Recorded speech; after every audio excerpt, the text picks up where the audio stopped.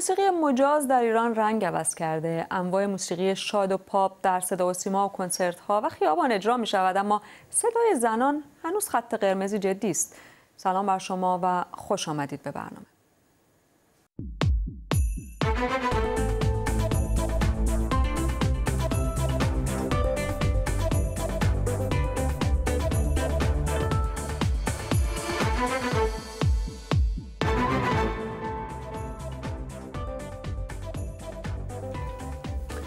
سازمان ملل در گزارشی که امروز منتشر شده اعلام کرده که ایران جز ده کشوری است که بیشترین سانسور را اعمال می کنند. اما در این گزارش هم حتی اشاره به سانسور صدای زنان در ایران نشده. در هفته های گذشته شماری از زنان فعال در حوزه موسیقی به ویژه خوانندگانی که کلیپ هایی از صدایشان را در فضای مجازی منتشر می‌کردند به دادسرا فراخوانده و مجبور شدن حساب های اینستاگرامیشان را ببندند. خوانندگی زنان در ایران چهار دهه است که رسما ممنوع بوده. اما در همه این سالها زنان خواندند و آموزش خوانندگی دیدند و آموزش خوانندگی دادند چقدر تلاش برای ساکت کردن زنان در این سالها جواب داده؟ آیا فضای مجازی فضا را برای خوانندگی زنان بیشتر مهیا کرده؟ مشکلات عمده کجاست؟ آیا مشکل خوانندگی زنان فقط قوانین و حکومت است؟ در برنامه امروز دو میهمان داریم. فراواز خواننده و مؤسس کمپین حق آواز زنان ایران از مونیخ با ماست و اینجا در استودیو میساق مرادی پژوهشگر موسیقی. خانم فراواز از شما شروع می‌کنم. شما در اینستاگرام فعال هستید کمپینی هم دارید برای خوانندگی زنان. ممکنه کمی بیشتر در مورد این برامون توضیح بدید. چی شد که باعث شد شما تصمیم بگیرید که این کمپین راه اندازی کنید؟ درود بر شما. ببینید مسئله ای که هست اینه که در طول تاریخ موسیقی ایران حالا چه قبل از این چهل سال و چه در طول این چهل سال ما همیشه مشکل داشتیم برای خوانندگی بانوان. ولی من فکر می‌کنم تا قبل این موضوع بیشتر بار فقهی و مذهبی و عرفی داشت. ولی خب در طول این چند سال به خاطر فعالیت هایی که خب اکتیویست ها و فعالین حقوق زنان داشتن و قطعا خود زنان ایران باعث شده که زنهای ایرانی بانوان ایرانی به حقوق انسانی و به حقوق اجتماعی و مدنی خودشون آگاه تر بشن و خودشون رو در جامعه جهانی ببینن و خودشون رو مقایسه بکنن با افرادی که در تمام دنیا دارن یک همچین شغلی رو انجام میدن یعنی خواننده هستن. و مسئله هستش که امروزه این مسئله دیگه از بار مذهبی و فقهی خارج شده و فکر می‌کنم که این موضوع یک موضوعی هستش که داره در قالب سیاسی برای جمهوری اسلامی ایران خطرناک میشه. چرا که متاسفانه ما در سازمان ملل مسئله خوانندگی زنان در ایران همچنان به اسم یک سانسور ثبت نشده و ما در تلاش هستیم که این اتفاق به زودی بیفته و ما بتونیم جامعه جهانی رو بیشتر آگاه بکنیم از این مسئله که داره در جایی به اسم ایران اتفاق میفته و متاسفانه هنوز خیلی ها از این موضوع بیخبرن. شما آقای مرادی هم کار خوانندگی می‌کنید هم پژوهش موسیقی می‌کنید. آیا شما با همین تصویر موافق هستید اینکه فضا فضای تنگی بوده از قبل و الان هم سالهاست که ادامه داشته اما فضای مجازی کمی باعث شده که مردم بیشتر بدونن در موردش. بله قطعا. فضا که خب تنگ بوده این که چیز جدیدی نیست. ولی من گمان می‌کنم توی سالهای گذشته چون یک مسئله فرهنگی رو داریم بررسی می‌کنیم و همینجور که ایشون هم اشاره کردن الان دیگه ما از اون مرحله که منع شرعی داشته باشه تقریبا عبور کردیم. الان توی یک مرحله هستیم که بیشتر با عرف و شاید بعضی وقتها بهره برداری سیاسی از این قضیه درگیر هستیم. خیلی بیشتر از اون که بخوایم با شر درگیر باشیم. اینه که چطور می‌فهمید با شهر درگیر نیستیم؟ مثلا جایی که می‌بینیم در بعضی از استانها هنوز کنسرت هایی که آقایون هم حتی قرار هست که اجرا بکنن و بخونن افرادی هستند که مخالفت می‌کنن میرزن کنسرت رو میبندن. چطور می‌فهمید که بحث الان دیگه شهر اون شکل نیست و عرف بیشتر هست؟ ببینید داستان اینه که وقتی میگیم شر باید بریم سراغ احکام شرعی بعضی از آیات ازام کمابیش با اشاره یا در لفافه قضیه رو بلامانه اعلام کردن. پس نمی‌تونیم مستقیما شهر رو مقصر بدونیم بابت این قضیه و بگیم که الان واقعیت اینه که در حتی در مورد تعطیلی کنسرت ها و به اصطلاح مشکلاتی که برای اجرا توی شهرستان ها و بعضا شهرستان های مذهبی پیش میاد هم ما با فرهنگ و عرف و منطقه بیشتر سر و کار داریم تا موانع شرعی به صورت مستقیم. و حتی بعضا سیاسی. اینه که این که می‌خوام به این مسئله اشاره کنم که چون این قضیه قضیه فرهنگی هستش باید این تو بازی زمانی طولانی خورده بهش نگاه بکنیم. اینکه حالا بخواد این قضیه ثبت بشه به عنوان یک سانسور و اینجوری بررسی بشه حالا از طریق مجامع بین المللی خب خیلی خوب شاید بتونه باشه. ولی باید این رو هم پیش خودمون فکر بکنیم که این قضیه چقدر دغدغه جامعه بین المللیه می‌خوام اشاره بکنم به این مسئله که مثلا الان ما این چند روزه که گذشت راجع به ازدواج دختران زیر سن دختران زیر سن قانونی و اینا بحثش خیلی داغ بوده. بله کودک همسری. بله کودک همسری بحث کودک همسری.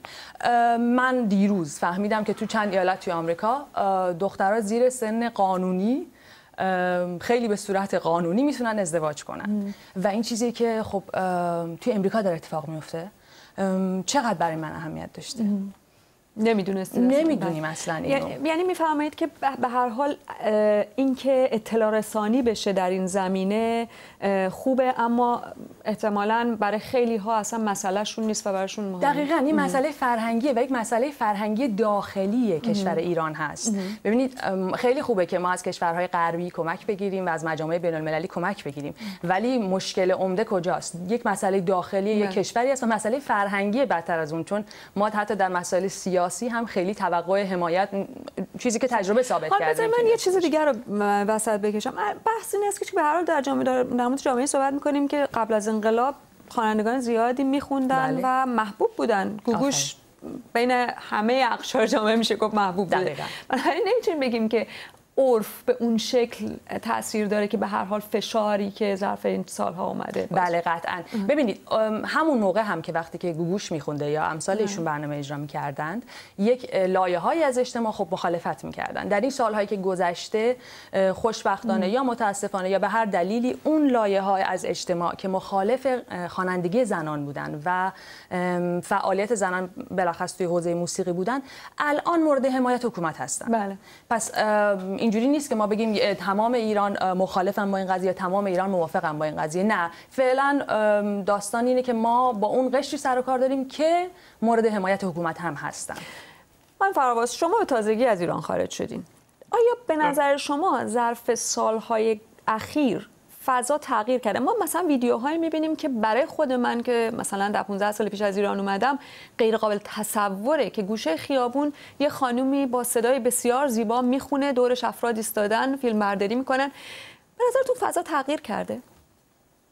من قبل از اینکه پاسخ سوال شما رو بدم می‌خوام بگم که ببینید ممکنه که ما هنوز خبر نداشته باشیم که در آمریکا دارن یک سری زیر سن قانونی ازدواج می‌کنن یا هر چیزی. ولی مسئله این هستش که ما حتی خود ما ایرانی ها در این جریان نیستیم که چه اتفاقی داره میفته برای این کسانی که عاشق آواز خوندنن و کسانی که تو این چهل سال مجبور شدن که ساکت بشن. مشکلات روحی فشارهای خانوادگی و اتفاقات خیلی بزرگی که برای کسایی که عاشق این کار بودن تو تمام این مدت افتاده ولی متاسفانه همیشه روش سرپوش گذاشته شده برای اینکه ما همیشه بله. فکر کردیم که این موضوع حاشیه است و بله. اونقدر که باید موضوع مهمی نیست در صورتی که بسیار موضوع مهمیه و ما هم باید جامعه جهانی رو آگاه بکنیم که به این داره این اتفاق میفته هم خود مردم خودمون رو. چرا که ما خود ایرانی ها هم خیلی شاید در جریان نیست که چه بلایی داره زر خوانندگان خانوم میاد داخل ایران. و چه بسا که من چندی پیش یک سری با یک آقایی که خواننده هستن و بسیار سلبریتی هستن خارج از ایران داشتم صدای خانم ها رو براشون پلی می‌کردم که داخل ایران می‌خونن. ایشون گفتن مگه ما داخل ایران خواننده زن داریم؟ می‌دونید یعنی این موضوع خیلی تازه فکر می‌کنم داره یه ذره راجبش صحبت میشه و ما خیلی چیزهای پنهان و سرپوش گذاشته شده در این مورد داریم که راجبش هنوز صحبت نکردیم. در مورد پیشرفت خوانندگی برای خانم ها در طول این مدت من می‌خوام بگم که من راستش رو بخواین خیلی آزادی و تغییری از طرف حکومت نمی‌بینم. ولی فکر می‌کنم که همونطور که گفتم تو سوال اولی که پرسیدین از من تلاش های فعالین حقوق زن و خب حضور شبکه های اجتماعی باعث شده که زنها با حقوق خودشون بیشتر آشنا بشن و بخوان که این حقشون رو پس بگیرن و من فکر می‌کنم انقدر تعداد زیاد شده تعداد خواننده های خانوم و کسایی که عاشق این کارن که گرفتن جلوش و گرفت جلوگیری ازش کار سختی شده. خانم فراواز میفرمایید که شما خودتون گفتین که برخورد شده. ما که پیش از برنامه صحبت می‌کردیم. ممکنه بگید این برخوردها به چه عنوانی در قانون آیا جرم هست خوانندگی یا اتهام موارد اتهامی دیگری برای اینها مطرح میشه؟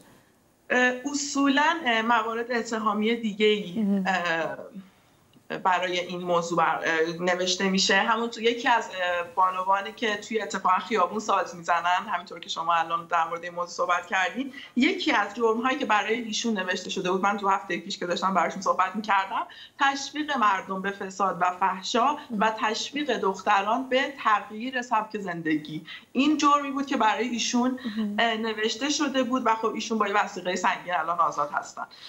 مسئله ای که هست اینه که من می‌خوام بگم که تعداد انقدر زیاد شده که جلوگیری ازش سخت شده. و خب هر چند وقت بار میریزن و یه ده 20 نفر رو احضار می‌کنن یا میریزن تو خونه های خانواده رو تحت فشار قرار میدن. من فکر می‌کنم که تمام تلاش بر این هستش که جلوی این اتفاق رو بگیرن. همینطور که توی ماه اخیر با تماس هایی که به من شده من در جریان هستم که این ماه ما بسیاری از خوانندگان خانم و موزیسین های خانم رو احضار شدن به دادگاه دستگیر شدن و تا اونجایی که من در جریانم الان با وسیقه های سنگین آزاد هستن همشون. بله. و خب جرم هایی که میگم پخش تصاویر مبتذل به خاطر اینکه خب خیلی هاشون موزیک ویدیو در شبکه های اجتماعی یا حالا تلویزیونی هایی که در خارج از کشور هستن کارهاشون رو منتشر کردن. و خانم فراواز آیا فرقی می‌کنه سبک موسیقیشون چیه؟ مثلا آیا مماشات بیشتری با یک نوع سبک موسیقی میشه با یک نوع دیگه نه؟ نمی‌تونیم اینطوری بگیم. ولی خب قطعا با سبک های جدید حالا چه برای خانم ها چه برای آقایون مشکلات بیشتری وجود داره. من این رو می‌خوام اینجا بگم که در مورد کنسرت های بانوان. کنسرت هایی که برای بانوان برگزار میشه اصولا در سبک پاپ و سنتی هست و هر خواننده ای و گروهی که بخواد خارج از این دو محدوده فعالیت بکنه باهاش برخورد شدید خواهد شد و اینکه خب برای آقایون هم البته این سبک های جدیدتر و برای ما ایرانی ها البته سبک جدیدتر محسوب میشه. بیشتر مشکل ساز هست ولی خب برای خانوم ها خب خیلی سنگینتر و شدیدتر برخورد میشه که اگه تو بخوای در کنسرت بانوان سبک دیگه ای رو بخوای وارد بکنی. بله. شما خودتون هم تجربه کنسرت در ایران رو داشتید. ممکنه به ما بگید که چطور هست؟ اصلا در کنسرتی که مشترک هست شما می‌تونید اجرا بکنید؟ به چه شکل زنان می‌تونن در کنسرت های مشترک کار بکنن؟ طبق آخرین بخشنامه و دستور داخلی وزارت ارشاد باید کنسرتی که خانم توش اجرا می‌کنه سه تا همخوان با هم دیگه برنامه اجرا کنن. که مرد باشن یا زن باشن؟ فرق نمی‌کنه. خیلی مشخصش نکردن. آخرین دستوری که من در جریان هستم این هستش که سه تا همخوان باید با هم دیگه برنامه اجرا کنن که عملا تکخانی وجود نداره. یعنی رسما یک گروه سرود کوچیکه. بله. خب این کار سخت می‌کنه برای کسی که خب سالها رفته درس آواز خونده و خب خیلی براش مهمه. بعضا هم خانهایی که میان هم خانهایی نیستن که بتونن اونجور که باید از پس کار بر بیان و خب کار به اون کیفیتی که لازم و اصلا خب کسی که میره درس آواز می‌خونه برای تک, تک خانی در حقیقت کسی نیست که رفته تمرین کار کور کرده باشه و آن بخواد تو کار گروهی انجام بده. پس بنابراین این کار خیلی سخت موضوع کاملا متفاوت صحبت آره آره آره. سخت می‌کنه. فقط یک نکته ای من راجع به این قضیه که خانم فرواز صحبت کردن. ببینید تو سالهای اخیر من نمی‌دونم که ایشون چند سال مد نظرشون هستش. ولی خیلی خیلی فضا بازتر شده. اینو اصلا نمی‌تونیم چشم پوشی کنیم ازش. ببینید یک موقعی برای من و شما اصلا قابل تصور نبود که بگیم مثلا اپرای عروسکی آقای بروز غریپور با صدای رها یوسفی اجرا میشه و نقش زنش رو خانم یوسفی داره می‌خونه. یک موقع اگه به من می‌گفتن که مثلا فیلم چه که یک فیلمی هستش که راجبای چمران هستش و موسیقی متنش آقای فردین خلدبری ساختند و خانم بهروخ شورورزی موسیقی متنش رو اجرا کردن از تلویزیون ایران پخش میشه و هیچ مانعی هم وجود نداره. این اتفاقاتی که توی یکی دو سال گذشته افتاده و راجب خیلی زمان دور هم صحبت نمی کنیم پس اینو به نظر من نباید اتفاقات میفته از بله. طرف دیگه اون برخوردهایی هم که خانم فرواز میگن بله. اتفاق میفته به نظر بله. شما چرا؟ ببینید داستان اینه که داریم راجع به فرهنگ صحبت می‌کنیم. فرهنگ رو یک اتفاقیه که تو چهل سال الان باید تو بازه چهل ساله دیده بشه در حقیقت. ما نمی‌تونیم قطعا بگیم که اوضاع خیلی خوبه. نه اوضاع خیلی بده. با استاندارد جهانی اصلا نمی‌خونه. هنوز شرایط خیلی ناعادلانه است. ولی واقعیت اینه که نمی‌تونیم چشممون رو هم روی این قضیه ببندیم که خیلی پیشرفت کردیم. چرا هم پیشرفت کردیم؟ من فکر می‌کنم یه قسمت عمدهش به خاطر تغییر فرهنگ اجتماع هستش. و یک قسمت دیگرش هم به خاطر اینه که ناگزیر و متاثر از اون تغییراتی که در اجتماع به وجود اومده در سالهای اخیر خب طبعا دولت مردا وزارت خونه وزارت ارشاد در حقیقت و ارگانهای دیگه هم نمی‌تونن خودشون در تقابل با اون فرهنگ قرار بدن بله. به هر حال اونها هم مجبورن کوتاه بیان این به نکته جالب اشاره کردید با توجه به اینکه غنا و موسیقی که به قول معروف آدم رو از حال عادی خارج بکنه بر اساس اونچه که در موازین شرعی گفته میشه حرام هست بله. ولی ما این سالها ماها خودمون در غرب با موزیکی که در ایران مجوزدار تولید میشه تو مهمونی ها میرقصیم. بله. بیتاروف قضیه این هستش که این موزیک در ایران تولید میشه. خانم فرواز فکر می‌کنید چرا به اون با اون کنار اومدن با موسیقی زنان کنار نمیان؟ من فکر می‌کنم که همیشه دولت ایران خواسته که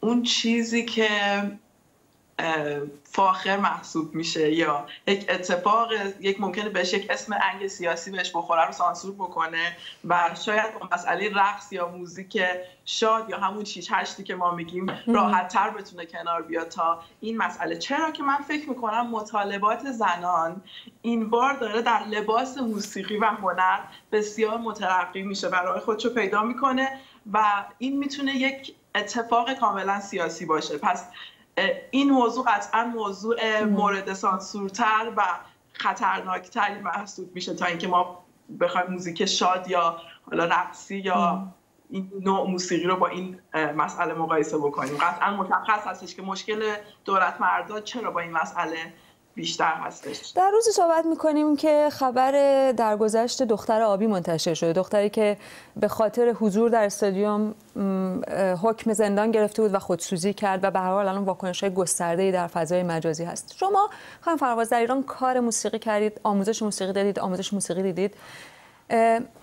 اینکه همه این اتفاقات برای زنان ایرانی اینقدر هزینه بر و هزینه ساز هست فکر می‌کنید چه تأثیری روی دانشجوی جوان شما داره؟ آیا اونها رو دلزده و دلسرد می‌کنه یا برعکس؟ مسئله هستش که مسئله این هستش که ببینید ما نمی‌دونیم که چه بلاهایی سر کسایی که تو این چهل سال ساکت شدن افتاده. من در جریان هستم که خونه یکی از اساتید خانم ما آتیش گرفته. آتیشش زدن یعنی و حالا اتفاقات خیلی زیاد دیگه که افتاده و من خودم تقریبا چهار سال پیش بازداشت شدم به همراه 20 نفر دیگه از خانم های خواننده که در جریانم که یکی از اون خانم ها الان متاسفانه سرطان دارن. دو سه نفر دیگه از اونا چه مشکلات شدید خانوادگی پیدا کردم و مشکلات روحی و افسردگی. خود من افسردگی شدید پیدا کردم. خب تو این سه چهار سالی که درگیر رفت آمد به دادگاه بودم. ما بسیار داریم بابت این اتفاق هزینه میدیم و امیدوارم که بتونیم آگاه بکنیم. مردم خودمون رو و مردم جهان رو به این اتفاقی که داره در ایران میفته من فکر می‌کنم که دلسرد قطعا می‌کنه ولی خیلی خوشحالم که دخترها های جوون این انگیزه رو دارن و فکر می‌کنم که خودشون رو پیدا کردن و هیچ چیزی این روزها واقعا نمی‌تونه مانعشون بشه. هیچ فکر نمی کنم که واقعا هیچ موضوعی بشه باز بداره اونها رو از این اتفاق. ولی خب خانواده ها خیلی فشار میارن در این موضوع که خب آینده چی؟ درآمد تو چی خواهد بود از این کار و چه اتفاقی خواهد افتاد بعد از اینکه تو خواننده بشی؟ چرا که تو جایی برای پیشرفت بیشتر و داشتن این شغل برای خود در ایران نمی‌بینی و ما می‌دونیم که امروزه در ایران به عنوان یک خواننده نمیشه درآمد داشت برای یک زندگی و نمیشه زندگی کرد. با خوانندگی مگر اینکه تو بخوای تدریس بکنی بله. و هیچ چیز دیگه ای به جز این وجود نداره که تو بخوای درآمد رو از این راه کسب بکنی ولی خب خوشبختانه اینکه فکر کنم این مرز شکسته شده دخترها دارن این تلاش رو می‌کنن و من بسیار روشن و نورانی به این موضوع نگاه می‌کنم و فکر می‌کنم که خیلی زود با این تعداد استعدادهای واقعا درخشانی که داریم می‌بینیم بله. در ایران اتفاق خیلی خوبی اتفاقهای خیلی خوبی خواهد چرا که واقعا بله. این حجم رو دیگه نمیشه گرفت. خیلی موردی شما بیرون از ایران هم خوانندگی کردید بله. کار می‌کنید. بیرون آسون تره؟ نه نه چون این حرفه است. ببینید این مشکلی که ما الان داریم با خوانندگی زنان در داخل ایران اینه که ایشون یک اشاره کردن گفتن که وقتی میگیم که زنها داخل ایران می‌خونن یک عده میگن که مگر همچین شغلی داریم. واقعیت اینه که خود زنها داخل ایران بعضا خودشون رو جدی نمی‌گیرن. اینکه اصلا به چشم یک شغل بهش نگاه بکنند یا نه. اینکه اگر مثلا من میرم برای فلان تئاتر برنامه اجرا می‌کنم اگر که موسیقی متن فیلم می‌خونم آیا در ازاش پولی می‌گیرم؟ یعنی به چشم حرفه خود من در اولین قدم بهش نگاه بعضا نمی‌گیرن. چون فکر می‌کنن خب یک فرصتی پیش اومده من برم استفاده کنم از این و فقط اینکه صدای من یک جای ثبت بشه. خب این وقتی خودش به چشم حرفه‌ای به چشم کسی که حرفش این هست و درآمدش این هست به خودش نگاه نمی‌کنه نمی‌تونیم توقع داشته باشیم که اجتماع موسیقیدانان فقط اصلا راجع به جامعه ایران صحبت نمی‌کنن. اونو جدی بگیرن. فستیوال برنامه اجرا می‌کنن بعضا دستمزد نمی‌گیرن. فکر فکر نمی‌کنید شاید به خاطر اینکه در واقع واقع هستن. فکر می‌کنن که این موقعیت خیلی به سختی پیش میاد که کسی بخواد از همه موانع بگذره و فکر کنه که باشه من به این خانم این موقعیت رو میدم که بخونه.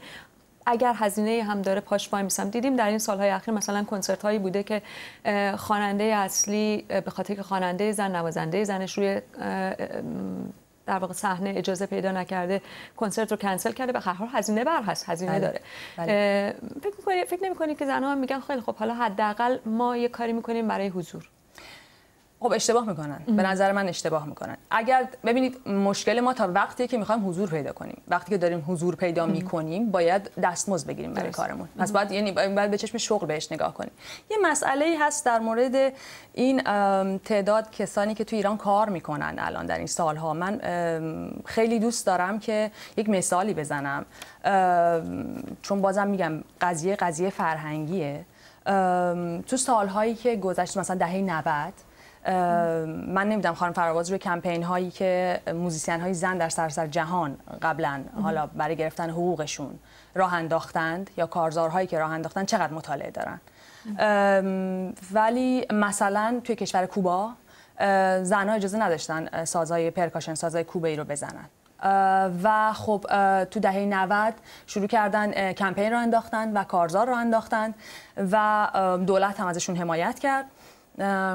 و الان مثلا برنامه های برگزار میشه که با حمایت دولت که دستمزدشون هم قطعا خب از طرف حکومت پرداخت میشه شرکت می‌کنن و زنان نوازنده پرکاشن داریم در بله. کوبا. ولی دلم می‌خواد فیلم های اونا رو ببینید. اصلا استقبالی نمیشه ازشون. چرا؟ چون هنوز توی اون کشور نوازنده های پرکاشن رو مرد می‌دونن. فکر می‌کنن کاری مردانه است و مردها باید اینو انجام بدن. حرفم چیه؟ می‌خوام نتیجه که بگیرم از این قضیه. اینه که ببینید اونجا دیگه مشکل حکومت نداریم که. مشکل فرهنگه. مشکل اینه که الان رفتن ازشون حمایت هم کردن ولی مردم استقبال نمی‌کنن. پس باید راجع به این قضیه فرهنگسازی بشه. می‌خوام چی بگم؟ می‌خوام بگم یه کارزاری که از خارج از ایران راه میفته و حمایت میشه. لاقل من فکر نمی کنم اونقدر مؤثر باشه به حال و روز زنایی که داخل ایران دارن خب کار ببینم خانم فراواز چی می‌خوام فراواز نظر شما چیه؟ علاوه بر اینکه به هر حال به ما بگید که آیا این مدتی که بیرون از ایران سعی کردید کار کنید فضا برای شما فراهمتر بود یا نه؟ من اول می‌خوام بگم که در مورد شرایطی که وجود داره برای خانم هایی که خب خارج چرا که ما خیلی از خانم های ایرانی خب وقتی باشون صحبت می‌کنی خیلی از خواننده ها میگن که ما یک روزی می‌خوایم از ایران بریم و آواز بخونیم و فکر می‌کنن این کلید رهایی و خوانندگیه که تو بتونی از اون سرزمین و از اون مرز بیای بیرون.